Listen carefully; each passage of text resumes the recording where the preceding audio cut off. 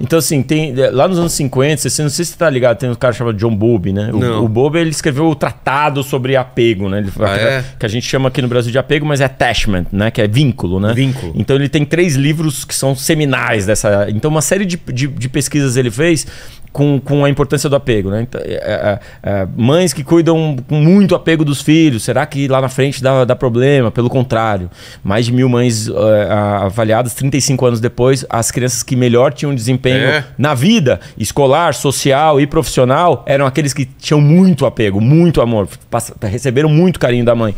Usa a mãe porque basicamente a ciência só começou a estudar pai, a importância do pai desde os anos 70, é coisa mu- muito recente, lamentavelmente. A gente tem muita pesquisa sobre mãe, mas pouca pesquisa sobre pai.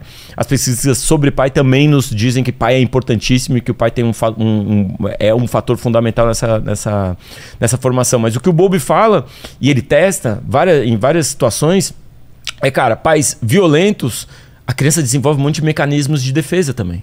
Então, você vê uma explosão de TDAH, né? De, de É. déficit de atenção.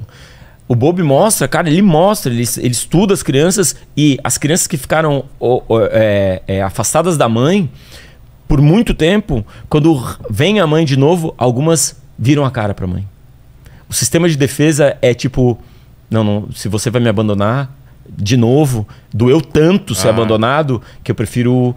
Ou seja, ela- ele- essa criança ela desenvolve essa, esse desapego e esse desapego acompanha pro resto da vida. Então tem uma série de Que vai traumas espelhar, criados. espelhar nos relaciona- relacionamentos dele também?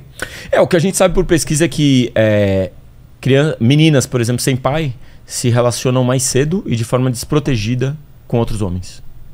De forma Nossa. carente nas suas relações amorosas. Como se buscasse o amor da- masculino Sei. é, ao longo da vida.